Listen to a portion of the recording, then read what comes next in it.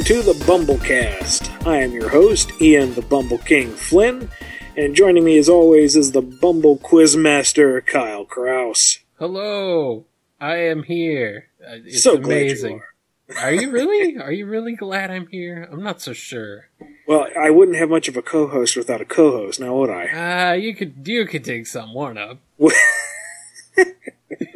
yeah, but you do all the recording and all the hard work. I just sit here and talk in a microphone. Oh, is that how A mic works? you provided. Uh, uh, well, you know, I got mics out out the wazoo, so Hey, hey, whatever you do in your own time, man, with your mics and your wazoo. I'm not doing it. Don't worry, not doing that. I'm. Just, it was a it was a it was a, a speech part of part of speech. It's a thing. It was not real. That's not what I do with my microphones. Like, ah, shut it all down, turn it off. It's hard to speak with all those mics up your wazoo. I Anyway, know it really is. I mean, no, stop. we have a special BumbleKast for you today, tonight, whenever you're listening. The Q&A Fest. Big old shout out, bow out, curtain call to the Bumble King forums. Uh, before we even get started, I want to apologize in advance. I appear to be having some kind of allergic reaction, quite possibly to the down in my big winter jacket, so I sound like uh, Darth Vader after running a mile. so pardon me as I, you know, grunt and snort and huff vapor rub off to the side here just so I can try to talk to you people. Well, this is why we invented editing. Can can only do so much for this voice. but anyway, uh, for those who don't know, I've been running a set of web forums on my website for ten years now. Uh, Bumble King forums were the place to go if you wanted to talk to me directly and a number of other official creative peoples over the years. It was the unofficial, un- unofficially official forum, or the officially unofficial forum, however you want to spin it you know, not really licensed by Sega or by Archie. It was MySpace. But uh, we had a lot of professional people there. We had a lot of fun, and we covered a lot of Sonic over those ten years. Ten years, Kyle. Ten years. Holy crap! Holy. That's a long time. That is two handfuls right there, Wow. That's a lot. and all of them on pretty much the exact same build of PHP BB, because I messed up something with the databases early on, transferring from various hosts, and it would not update, and it started to fall apart. And oh, the fact that it functions at all, I think, is a miracle. yeah. It's PHPBB is fairly resilient. I will give it that. Put it through the paces. Yeah. That it's got that. I don't think we ever did any kind of pruning or touch ups to the database. And there was at one point I figured this out. I don't remember how many years into the run, at least five years, but I hadn't had any captcha applied to the uh, account registration. Ah, yes. All I did was you know manually approve them because I couldn't get the captcha to work, and found tens of thousands of spam accounts yeah. in the registry. Yeah. and you know spent days cleaning that out. Came back a day later and it was like i'd never touched the stupid thing. So uh, the search function doesn't work. Posts have disappeared. If you try to edit a post it gives you an error until you refresh the page. It's a messy place but folks love it for some reason. Ah, community comes together.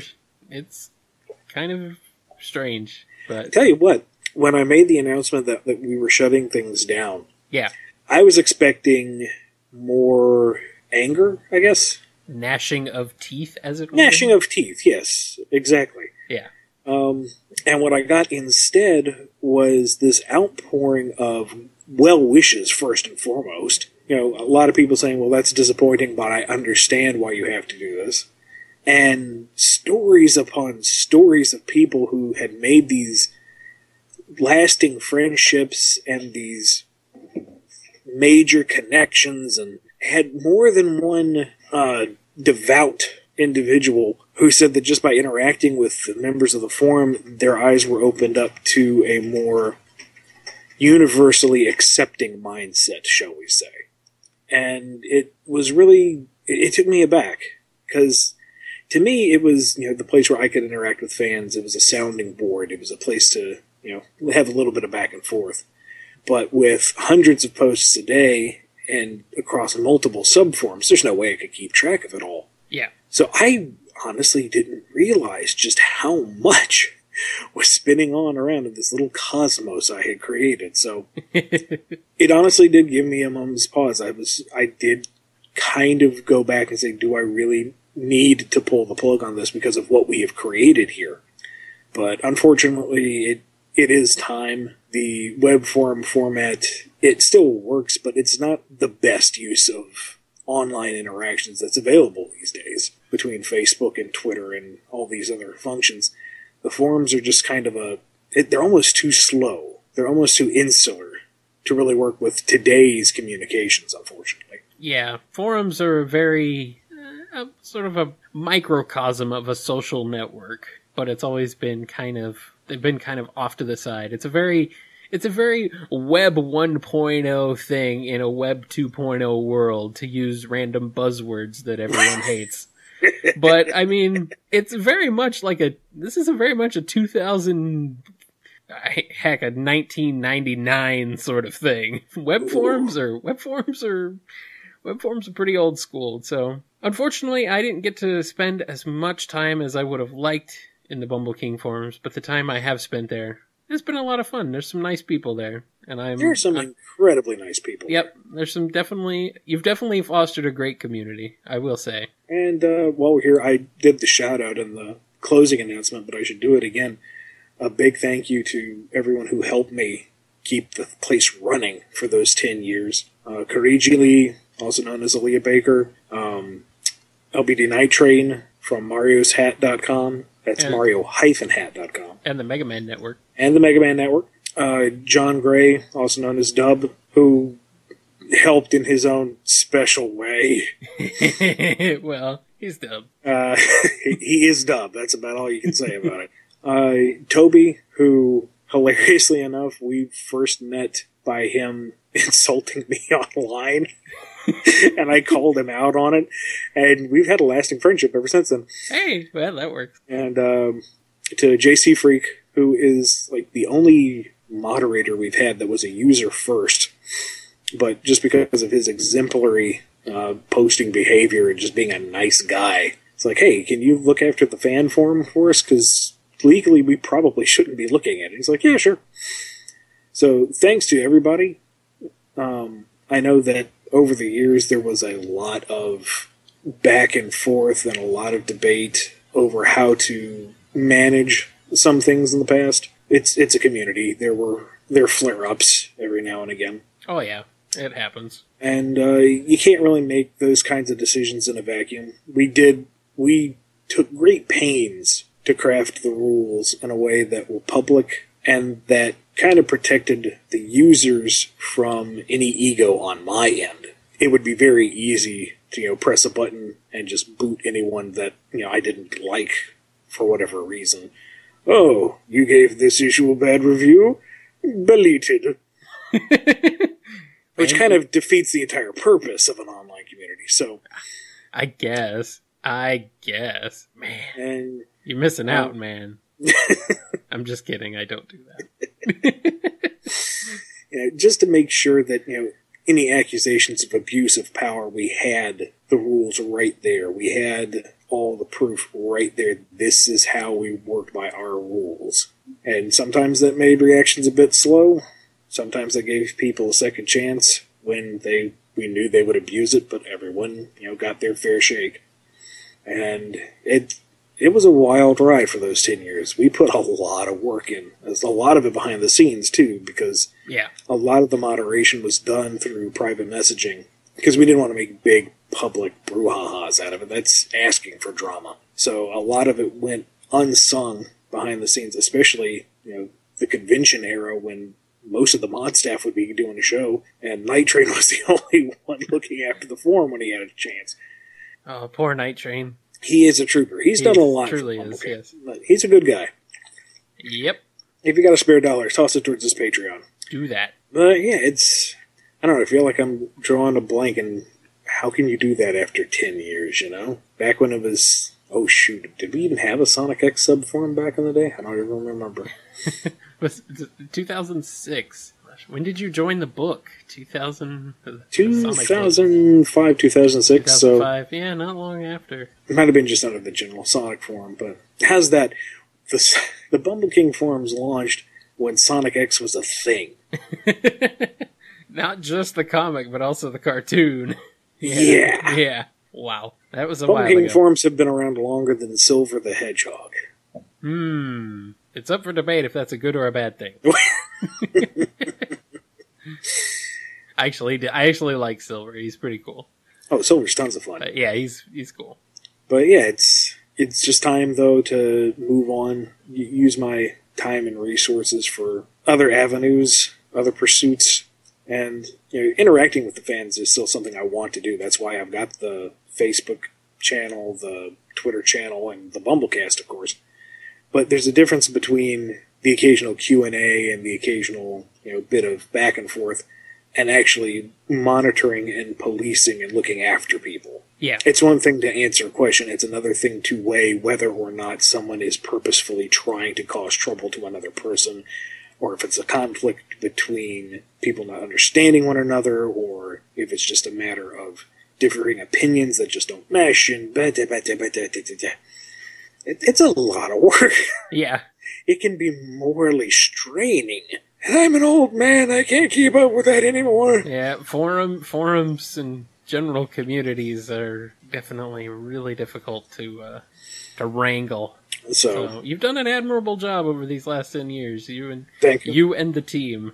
It's The, it's def- it was definitely a team effort. yeah. You have fostered a very a very good community. It'll be sad to see it go, but it's it's probably time. Yeah, I mean, or have there been communities that have lasted 10 years that remain Very functional to that degree? Very few. So, and already people are, you know, trading contact information and setting up other forums or moving on to greener pastures and setting up to move on. So, the community isn't dying, it's just changing form. Exactly. And heck, who knows, when we move on to Web 4.0, maybe the forum format will return to being something viable. Who knows? Maybe. Maybe we'll return to dial up forum. bulletin boards. That's what we need. The return Oh, of bulletin wow. boards. no, we don't need that. Please. No, no. Uh, I don't know if we've got those kind of like interactive hologram boards, like an Yeah. Iron Man, actual bulletin boards. Okay, that might be cool. I'll give you that.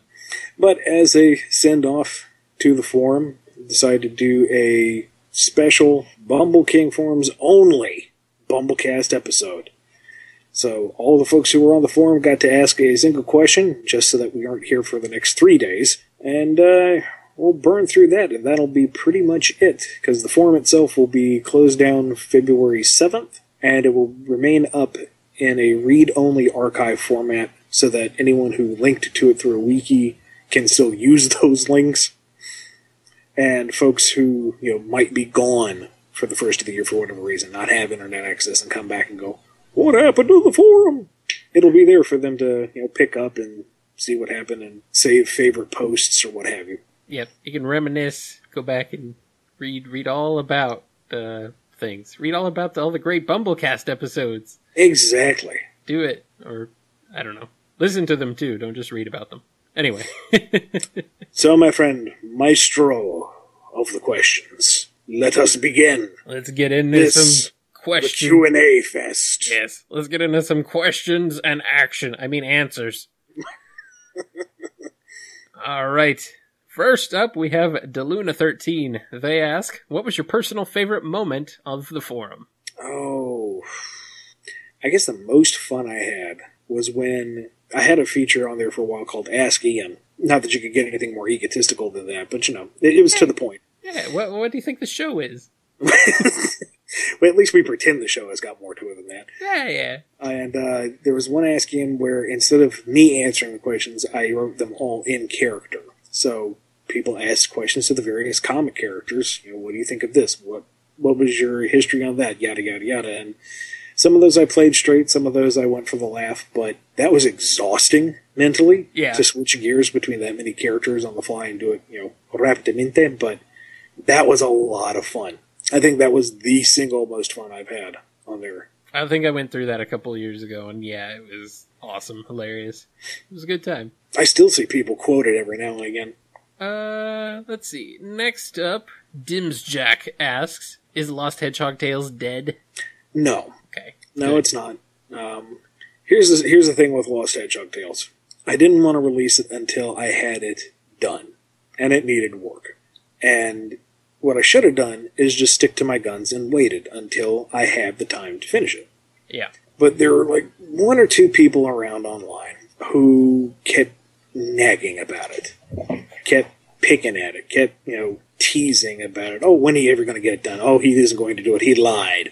And I shouldn't listen to those people. I should just let it slide like anything else online. But no, I gave in. I listened. I bristled and thought, all right, fine. I'll do it episodically. I'll get it out maybe faster that way. And no, it needed work. And breaking up episodically maybe, you know, helped organize it a bit. But it still needed time and it still needed work. And real life has to come first. Right. I mean, I do want to put it out there. The folks who have been so wonderfully patient with it and continue to be wonderfully patient with it, I think they're the ones who understand what this is. It's not what would have been, it's a novelty. It's what I would have liked to have done, Yeah. but these are not like the super secret files of things that were never got to see the light of day. These probably wouldn't have seen the light of day, and they certainly would have been released in the way that I will be putting them out there because they would have to go through the editor and the licensor, and who knows what else would have gotten in the way. So, it if it's at most a glorified fanfic when you get down to it.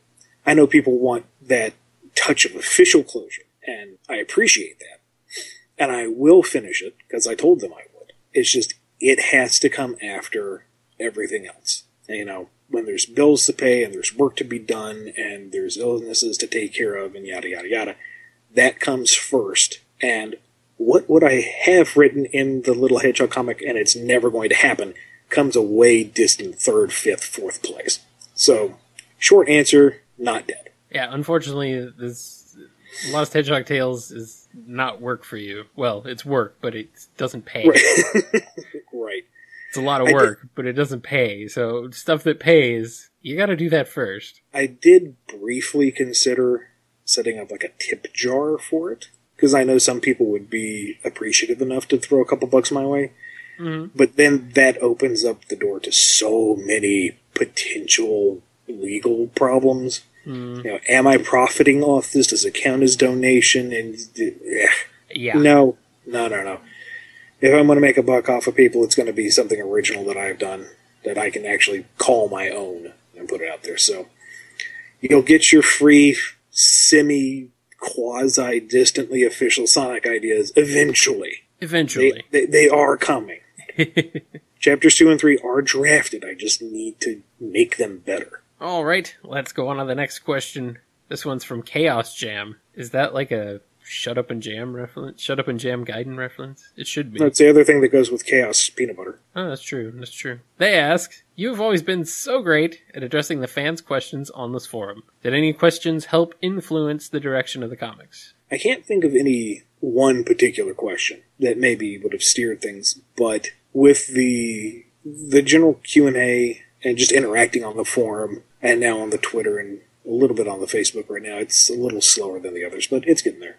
Seeing the people react to it um, more immediately than the fan mail that I get every now and again from Archie does influence how I plot things out in the future and how I plan to handle certain things here or there. Um, yeah, fans do have an impact on the book, uh, but I wouldn't say the Q and A directly influenced, but it did have a general effect, I suppose. And going back even earlier to this, when I did the in character Q and A stuff, that really forced me to look at the characters in a new perspective in some ways I wouldn't necessarily have considered initially. So yeah, it did have some influence.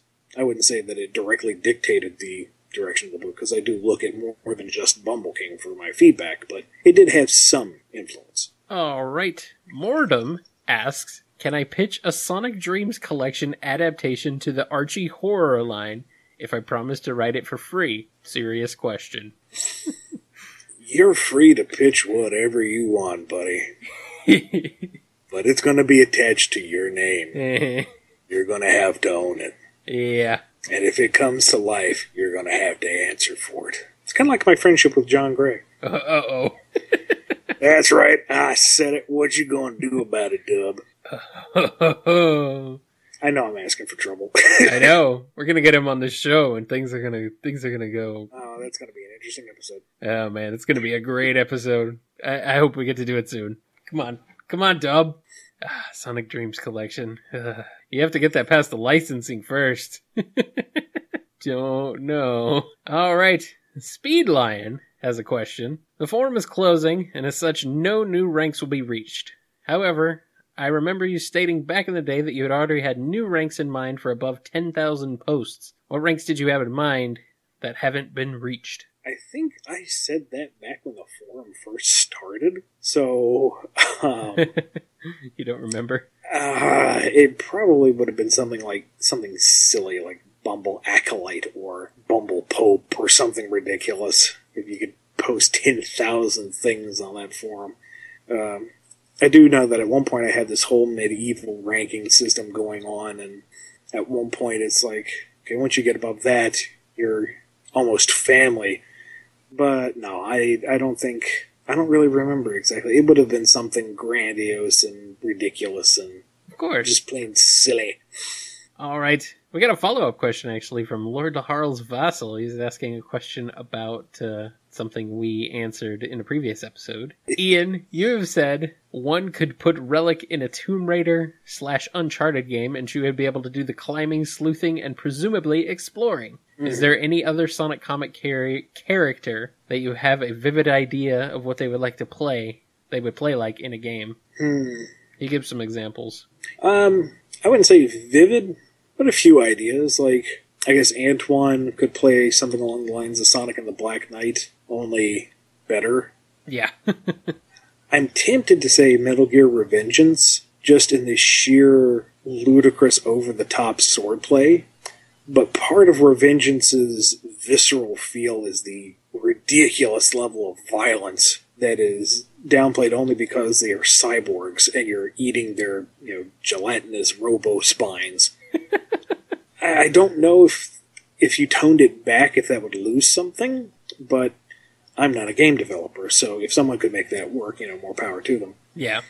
Uh, I definitely could see Bunny playing kind of Zone of Ender style. Ah, Where- yeah. You've got this full range of three dimensional motion and you're blowing stuff up left, right, and center. And if you could capture that feel, that degree of freedom and bombastic action, I think that would be really cool. Yeah.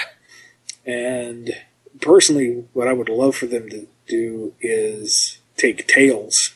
I know he already has his own gameplay styles and whatnot, but just go ahead and bite the bullet and give him the Nights into Dreams style gameplay. Just go ahead and say that he's matured to the point where he can fly indefinitely and give him the time attack, loop to loops, and aerial stuff. And sprinkle in a little bit of platforming and exploring, kind of a la Tails Adventure. But get him out there in the clouds, get him flying around. You're not using Nights for anything right now, anyway. You're not using tails right now for anything. Yeah. And I know the the question was more comic characters. I don't know how many of them would really fit gameplay wise, even though I do try to think of them in that context. But what I would love to see right now would be a Knuckles the Echidna Metroidvania. oh. oh yeah. Plop him on Angel Island, use the basic geography out of Sonic 3 and Knuckles, and just have him explore the island, you know? Yeah. Bust up Badniks. Tails' workshop allows you to use those pieces to make new weapons that you hit harder or dig faster or whatnot. You know, gather up the Chaos Emeralds for new special powers or find ancient Echidna hieroglyphics that give you special abilities. And just dig and climb and explore and run around and oh, it would be amazing. That sounds awesome. I would play that. And heaven help me, I actually would play a full blown version of Big the Cat's Fishing. you know what? I actually would too. because you know going through Sonic Adventure when I wasn't focusing on actually you know catching the fish and was exploring the level and saying holy mackerel they actually no pun intended they actually you know built these levels to be explored Yeah. And not just on one level but you can dive down and seek out different catacombs or whatnot that was really kind of interesting. It wasn't just the fishing; it was finding the right fishing spot Yeah. and finding all these different things, and that's kind of a neat game. If they just took Big and plopped him into Sega bass fishing, perfect. That and Cream's Chao Rancher. I want you just a straight up Pokemon esque digital life form raising sim. I don't care if it's like very basic cell phone game. That sounds like, it would be a good cell game, phone game. Yeah, really good mobile game. Or maybe a freemium thing to download digitally onto your console. Just something, anything. Just give me the Chao. Huge garden, raise them up, all the different types. Get you a whole bunch of different character specific type Chao. Just, but I'm a big collector nut anyway, so Yeah, Sega could really capitalize on Chao stuff. Um, it's kind of weird that they haven't. All right, let's go on to the next question here from Metal Skulk Bane. Uh, which Sonic game had the best story, in your opinion? Oh, let the flame wars begin. I think the most engaging and most interesting of them was Sonic and the Black Knight. Wow, that was actually Because- not the one I expected. Because But I know people hate was- that game for the think they- controls the left controls. desired. Yeah. The music was spectacular. Yes, the music was very good. It controlled better than Secret Rings. Yes, which is not Which is hard, but Like saying a kick in the shin is better than rope burn, but you know. but story wise, you know, right from the get go, Merlina tells Sonic, you know, when you take down King Arthur, you will be the lowest of the low. You know, you will be a knight who forswore his oaths and took down a king. And Sonic goes, eh, can't be the hero every time. and then the twist with Merlina being that she wants to preserve that moment in the book so that you never get to uh, Mordred's betrayal and the destruction of Camelot and everything. uh That's a perfectly reasonable desire, you know, to stave off the for- the foregone conclusion that your entire story is going to end horribly. To preserve that moment of happiness and stability. And then Sonic's point is just as valid is that that kind of life is not really life. And that's way deeper and more engaging than the convoluted kerfluffle that was Sonic 06. and they don't really handle it in a heavy-handed fashion. They state their positions, and then you get that freaking phenomenal Crush 40 boss theme, and I I don't know the whole thing. The whole thing just really came across really solidly, really maturely. Um, in terms of a more general Sonic story, I guess, more conventional. hmm I maybe would say colors because colors, it's colors was fun. Yeah, colors It- had a it- good story. it doesn't need it doesn't do anything it doesn't need to. Sonic Right. and Tails show up to Eggman's latest scheme, and they stop it, and Right. they have fun while doing it. I'm still old school and still like Sonic 3 and Knuckles' story. That's There's no- fantastic. There's no text. There's absolutely nothing. Nothing. The story is not given at all in the game. Story. Uh, well, you see the story kind of play out, but yeah, you there's no text. There's no dialogue. Nothing. But it it's still a really f- just a fun story. It's kind of basic, but it really works. You really get a sense of how Knuckles shifts in uh from being sort of a rival over to being more of kind of a friend and working with you instead of against you. exactly. So yeah, it's they did a lot with that game back in 93, 94. Was pretty pretty awesome. Just the simple sprite work of him stopping to think a second, gesturing, "Follow me," punches down a wall, Right. and then he's gasping for a breath on the teleporter, and then I don't know how you trigger it, but once he opens up the bridge on Sky Sanctuary, if you wait long enough for something. He will actually gesture for you to move on without him, and it's like, oh, Yeah. you are the coolest character ever. I know, I know. Knuckles was so cool back in the day. I think kind of they've really dumbed him down and I mean literally and figuratively. And He- it, it, yeah. He's I'd like, you know, Sonic Boom. Sonic Boom Knuckles Knuckles is fun, but I don't know. It just seems like a Eh. missed opportunity with him really. mainline knuckle, classic knuckles, legacy knuckles. What's the terminology now? I don't know. Classic Mainline Knuckles, I Knuckles. Yeah. Uh, he kind of suffers from the Piccolo syndrome. You know, he was the original rival to the hero, Yeah. and he technically hasn't devolved in power. It's just he's kind of been shuffled into the supporting cast. Yeah. At least he's not a babysitter. Not yet. Next question is from Betz. If Worlds Unite hadn't done the never happened thing, how would affect how would it affect Sonic and Mega Man's worlds? What would be different and what would be the same? Obviously, Shadow and the Mayor wouldn't exist anymore. Uh, that's not really a fair question because it wouldn't have never not done the. Mm. What is that? A triple negative? I think so. It it always was going to be the cosmic reboot. Yeah. It has to be by its very structure and definition because we had classic Mega Man crossing over with Mega Man X, and that can't happen. Just it can't straight up until you get to um, Xover, but that's something else altogether or crossover, however you want to translate it. The mobile game that nobody liked. Point Yeah. is, Had some good music in it though, but other than that, anyway, go on. no. I mean, the point being, it never would have been in a position where it would be canon, you know? Yeah. So, it there is no scenario of what would have happened because it wouldn't have. It was always going to get the cosmic reset button hit on it. All right. Well, that answers that question. Maverick Indigo wants to know Can we expect any nuggets of information for Mega Man? I'm not expecting something as expansive as Lost Hedgehog Tales, but if Mega Man is really over, could you throw some bone on some plans that you would have done, especially with comic exclusive characters? I I don't want to talk about that kind of thing in depth because Mega Man's situation is completely and utterly different than the Sonic reboot situation. Right. Uh, Not to get into details because I can't, but I'm still holding out hope that I'll be able to follow up on what I was doing in some capacity. Um, I don't know when, not entirely sure how, and it may be wishful thinking, but the door hasn't closed. So I don't want to start spilling all the secrets of what I wanted to do because I might still get a chance to trot those all out. So we'll see how we'll see how it goes. I just want more Quake Woman. I just want more Yeah. tempo. If anyone, if anyone could do that, that would, that would be really great. Especially if you could do it. But I mean, at- this point, throw in a game. I don't care. Just do it, somebody. All right. Next question is from Unknown Shadow six seventy five. My friend wants to know. Oh yeah, this is starting out really well. My friend wants to know. My friend. No. My friend wants to know if you uh, like the wild Thornberrys. There we go. Uh, not especially. Not that I saw a lot of it, but I'm really, really not fond of that art style. And I guess this is a reference to Sonic 252, issue 252. I'm, I did, I'm having trouble recalling that one. Something in that one. because Nigel and his smashing. No, that that's Oh. more of a Tim Curry nod Ah, Okay, because yeah. he he provided the voice of both King Acorn and Nigel Thornberry. Oh, and- okay. He has such a distinctive voice.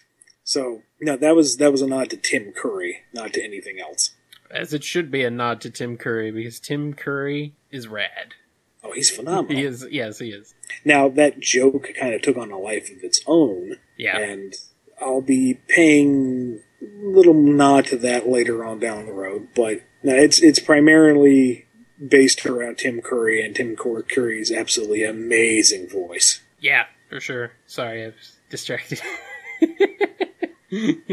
Tim Curry, it's understandable. I'm distracted. I'm always distracted by the Tim Curry man. He's he's mesmerizing. Not the Tim Chutney either, the Tim Curry. Right. Garret wants to know Would the Sonic Underground comic have finally wrapped up the TV series, or was it designed with potential future comics, uh, like a later universe arc, in mind? For those who are listening who don't know, uh, for one of the Sonic Universe anniversary issues, we were originally going to do a finale to Sonic Underground. Which, if you don't know, these kids these days, These kids these days need to get their Netflix in order. Uh, it was a Sonic cartoon that never really reached a conclusion. So, um, the idea was that the issue would have been standalone, and it would have been this one big finale for Sonic Underground. But I, I had written it out to be this big love letter to the series, uh, little things for fans of the show to get, and just wrap it up. You know, give it some closure uh, for reasons I really can't get into, the rug was kind of yanked out from under us and we had to change our plans. But I, I will be detailing what I intended to do in Lost Hedgehog Tales, which is not dead. It is coming. You hear that? It's coming. It's coming. it's it's gonna be here eventually. Just chill, chill, chill out, relax. I'm now in a some race with George R. R. Martin to see whether Lost Hedgehog Tales or the next Game of Thrones comes out. I thought you were. I thought you were saying before you die. I thought you were gonna say it comes out before you die. I was gonna be like, man, that's kind of morbid. You still have you still have a while to go, dude. Uh, I don't know. The rate it is, it might be before the next Ice Age, but yeah, we'll see. Hey, hey, we'll see. Yeah. John the Dreamer has a rather lengthy question here. It says, uh, I was floored when, while reading a Sonic Universe issue, Bean threw out what appeared to be a reference to a strong bad email. Me and my sister have used, excuse me, monstrosity, do you know the times? As an inside joke for years. I've caught dozens of other allusions to great dialogue moments from things all over the media all over the media spectrum. Do you have a process when it comes to tipping your hat to great great quotes or do you just love certain quotes so much that you feel you simply have to give them their their homage in the heat of the moment? Or do you have a fervent goal to reference every single one of my favorite things on the planet? Just to confirm, yes, that was a reference to the speed mail. Of course it was. Um, which is why Bean is so delightful, because I can throw any nonsense Oh, yeah, out of his yeah. mouth that fits. Sticks Um, too. I think you could probably get away with a lot of stuff with her. Eh, to a degree, I don't Less want her so to than be as, Bean, but yeah. don't want her to be too meme-tastic, but um, I don't set out actively to use certain quotes, but if inspiration strikes when I'm putting it together, I'll fit it in there. Sometimes I get it in my head that it's a really funny or appropriate time to use the line. Sometimes it works, sometimes it doesn't. There's one line in particular that I really wish I could find the place for it, but it never works out. So I've cut it every time because it's too awkward. But are you familiar with Red versus Blue? oh yeah. Okay. There was a bit in one of the early seasons where somebody says to Grif, you know, there's no I in team. To which Grif replies, well, there's no you either. So I'm not on the team, and you're not on the team. There's nobody on the team.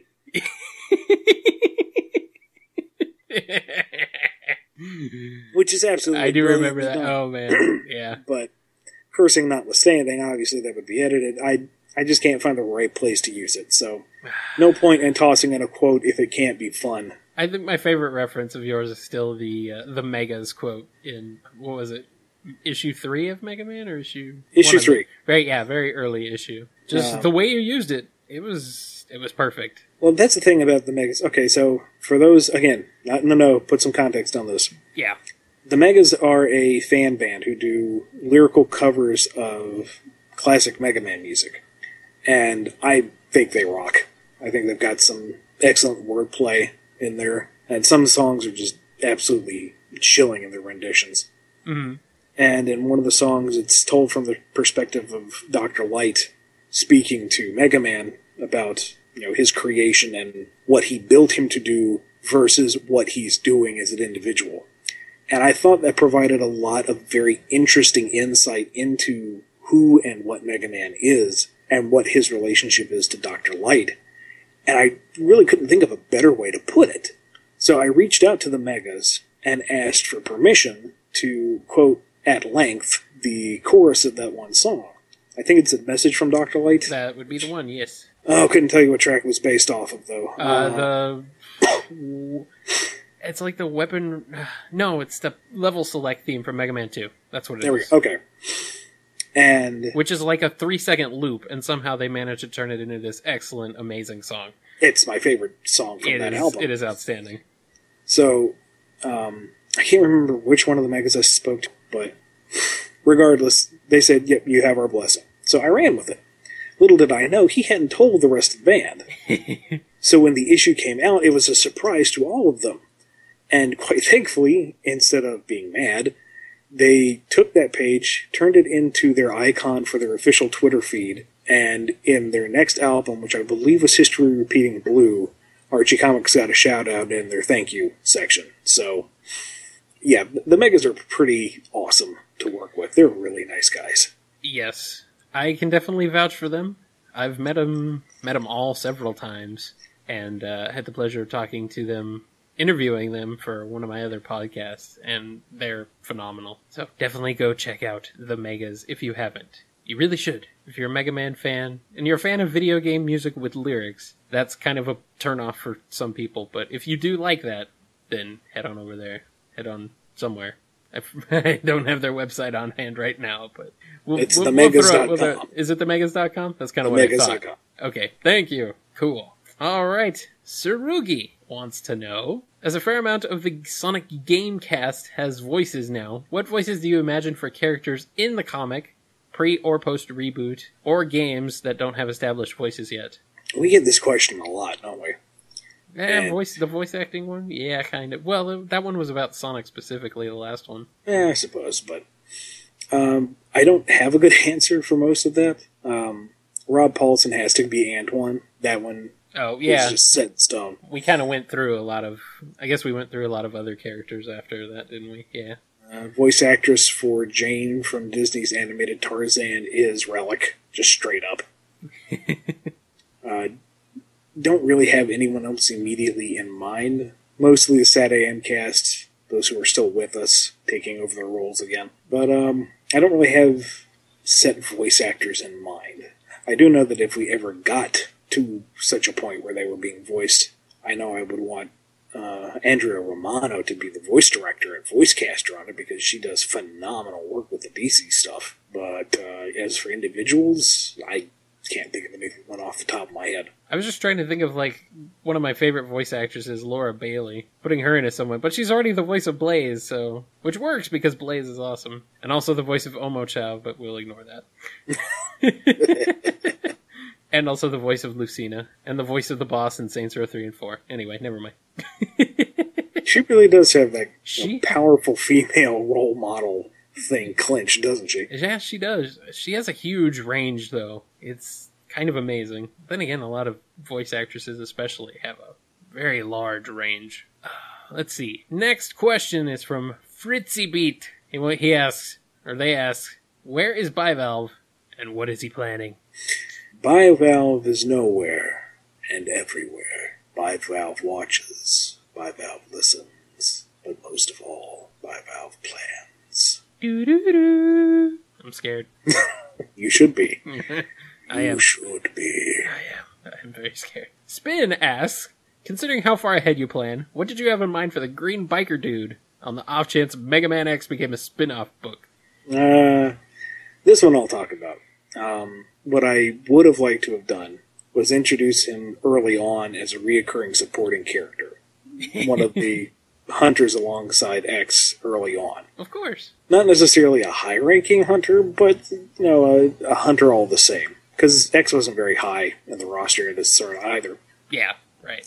So that when we got to the inevitable bike scene and he gets turned into gooey bits across the battlefield, it would actually mean something. Uh-huh. so that the assault at the very beginning of Mega Man X2 wasn't just, oh ha ha, they blew up the green biker dude. It would be you're making this desperate assault against the last holdouts of Sigma's rebellion and actually make a character moment for X out of it. But that's a big if I ever get to write a Mega Man X comic. So if it so. happens, you know what to look forward to. Green biker death. Did you have a name at all for him? I've tossed around a few, some that are like jokes revolving around motorcycles or various forms of the word green, or just his, he goes by his initials GBD. I don't know. That would have worked. Just call him GBD. Jago Man asks, Speaking of names, have you ever considered naming the United Federation President like you did Commander Tower? I have, and I can't settle on a name that I like for him. And I'm always wary about Commander Tower because he is a Sega character, and therefore his name is whatever they say it is. Right. and I keep waiting for them to give him a name and thus cause trouble for me. But they haven't, and I don't want to set myself up. You know, I don't want to give my set myself up for potential double whammy. You know, here's President What's His Face and the gun commander whose name is now this, and I have to tap dance around a re- crazy retcon. But I don't know. Maybe I'll get around to it. He ha- he doesn't really feature all that much. Yeah. Quantum Edge asks, Are you setting something up for Metal Sonic in the future? Um, not within the context of the rebellious robot. because one, we already did that with Metal Overlord, and two, the Sega canon, the official word is that when Eggman repaired him, he got rid of that rebellious streak. So he is 100% loyal. Now, in the comic version, he's not as patient, we'll say, as the game version. The game version is unwaveringly loyal. Right. Comic version can get a little testy because Eggman is a doofus, but um, he's still 100% loyal. There isn't really a lot of room for rebellion because he literally can't. Red Hammer as Hey Ian, during the Station Square rescue story, why are the residents mixed with both humans and animal people? Creatively, whose idea was that? I, I guess mine. It was How dare you? it was to show that the humans and Mobians lived side by side. It, Pre reboot, there was a very big Yeah. divide between humanity and animality and Overlander and blah blah blah blah blah. So those scenes in particular were supposed to be a very easy and direct shorthand for we aren't doing that anymore. Yeah. Come to find out later that officially there's two separate worlds and there wouldn't be that intermingling, but eh, it's the comic continuity. We do things a little differently. Yeah. Are Overlanders still a thing? No, No. Okay. I didn't they're think so. just humans. Okay, well, that makes a lot more sense. the Big RG asks, "Who are you guys' favorite Sonic characters growing up?" You said, guys, you're included in this I, one. yep, yep. Your your guys is. That's what it I've been- says, and this been includes this includes like comic characters from that era and cartoon games, everything apparently. So, No, I've been talking enough. You go first. uh, man, I'm kind of put on the spot here because I can't think. Um, I was always in it just for the Sonic man, but I guess when Knuckles came around in the Sonic 3 era, I definitely went on a big Knuckles kick and loved Knuckles for for a little while. So Knuckles is always pretty cool. That's why I'm disappointed he's been sort of sidelined and just put on the supporting cast. yeah, Uh, Knuckles. go ahead. Knuckles was always my favorite too. He was always right up there. Yeah, And he was the original rival. You know, right. you try to spin dash him. No, no, no. He just knocks you away, son. Yeah, he's like the Proto Man to Sonic's Mega Man. Exactly. Exactly. Wow, what a comparison to make. Oh, they're both red and blue. Whoa. Oh my god. Tails just roll. No, they all roll. It doesn't make any sense. That's why I really, I, I really did. Voice a sore throat. Ah. ah. That's why I really did love it actually when uh, he was paired up with Proto Man in the uh, was it the Sonic Worlds Unite battles issue? It was a, Mhm. whatever one written by Aleah, which is an outstanding story by the way. I was the best one out of all of them. Oh yeah, definitely. Second place. And we're, we're not just saying this, by the way, in case you're wondering. It really wasn't no, no, a no. very good one. I yes, But second place, very close second place, going to Ryan Jampole's Sticks and Roll Mhm. story. yes, That was amazing. yeah. I, I just I just like anything. I just like anything Jampole touches. It's it's just it's just amazing. It- when you pair Ryan with Matt Herms, all they do is produce gold.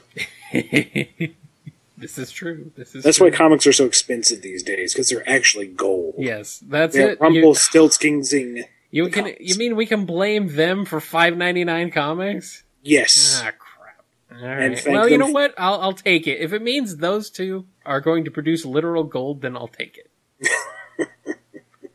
Swing of Things, which is a great name. great It is. username. It is. This is someone who has nine posts, by the way. Man, welcome, welcome to the forums. sorry, sorry, they're going away. they they want to know, Mr. Flynn. I've been wondering for some time now who slash what is responsible for the French used in the comics. Since if I recall right, you said slash wrote slash etc. somewhere that you really don't know the language in question. Oh, I do not. But I live with not. someone who does. I do. I, I do not parlez-vous the français, Uh oh. but uh, my wife, Aleah Baker, grew up in French immersion, and not Quebecois French, but actual France French, real French. So she knows a thing or two about the language, enough at least to kind of look at me from the side and go, "What were you trying to say?" I, I meant this. oh no, that that's not how you say that. Okay, you realize that this is Yes. what this word means, right? No, She knows enough to smack you and go, no, no, bad, knows enough to- bad." Knows enough to prove that Google Translate is still not perfect. No, no, it is not. But it does. Have, it does do some. It does have some funny uh, results once in a while. It does. It does. I It's amusing. there was a actually there was a Russian fan on Twitter who was I think trying to say hello or ask something, and I I don't know any Russian whatsoever. right. I couldn't tell you the first thing about the Cyrillic alphabet, so I tried to put the simplest sentence into Google Translate and fire back, you know, thank you very much, or thanks for reading, or something like that. And I hope it came through right. I mean, I went, in- I took it, I took it in English, put it into Russian, put it back into English, and it looked right. So I don't know. It probably came through fine. The point probably came across. I studied Latin because I knew it was a dead language, and thus if I got it wrong, nobody could correct me. Well, I guess that's a good. Uh, that's a good way to get around it. It's not a good long-term plan, I no, can tell you not. that No, it's not. No, it's not. that reminds me. Actually, it's kind of funny.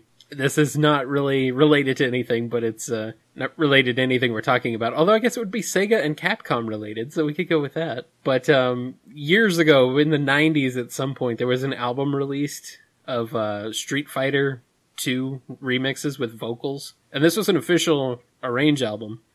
And the opening track is an is a remix of Ryu's theme by Takanobu Mitsuyoshi, aka the Daytona guy.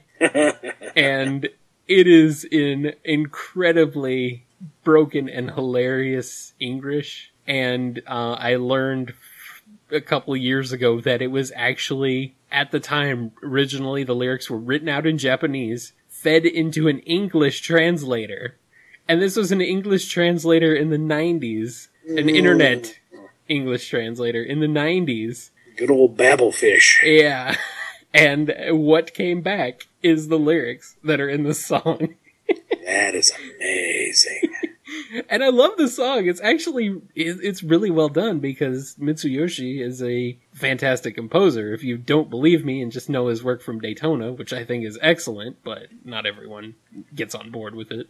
Uh, go listen to his soundtracks for Shenmue or Sega Rally, which don't have lyrics and are amazing. So anyway, just wanted to throw that out there. I thought it was so pretty pretty funny. So Melodin, we've had that we've heard that name before. We have. They asked, how did Sonic Rivals 2 go down in the new comic continuity? I ask because Sonic mentioned how he and Silver worked together to stop Ifrit when no such thing happened in the game, and Sonic and Silver were in different halves. I, I actually am completely confused because I never played Sonic Rivals 2. But it was on the PSP. How could you not? oh, crap, you're right. Man, I really missed out. uh, I think Rivals, the two Rivals games are kind of lost gems. I've heard they are actually good, yeah. I enjoyed them. It was kind of like. Did you ever play the two-player mode in Sonic Three? Oh, yeah, all the time by myself. a more robust version of that, basically. And the writing in it was pretty good. And in the regular gameplay, uh, there are four separate storylines Sonic and Tails, Knuckles and Rouge, Shadow and Metal Sonic, and Silver and Espio. And depending on which character you play as, there are minor tweaks in some of the stories. Like Sonic and Tails have the same story, but if you play as Tails, you get a couple of slightly different scenes than Sonic Yeah. and they don't overlap a lot. And more or less, Sonic and Tails have the most superfluous story because they end up doing one minor bit of good in the overall preventing the end of the world scenario, not realizing how very little they contributed overall. Whereas you have this really interesting character moment where Metal Sonic rips a Chaos Emerald out of his own chest so that Shadow can escape back home, which I just ate up. But they don't really cross over a lot in Yeah. the end game. So obviously, the comic version is slightly different.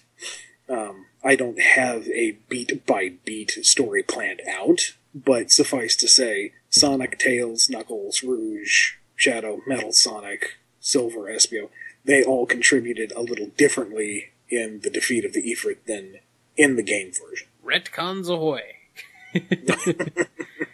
hey, retcon, retcon the games. Do it. Just retcon them all. I, I think the whole adaptation of Sonic Unleashed at this point should make it clear we're not being 100% faithful Yeah. to the game canon. That's good because if I wanted the game story, I'd just play the game. Like, come on, Come on. come on. Come on, That's why, I it was, up. that's why I was glad you, you really uh, added a lot of depth to the Mega Man adaptations, and then a- ad- adapted games that were like nobody expected you to. Borvok asks, "Wow, with two posts even, man, this this really brought some people out of the woodworks. That's awesome. Is there a trick to maintaining reader interest while sticking to the status status quo required by a license holder? I really can't read. This is bad. Anyway, go ahead. Answer the question. Answer the question.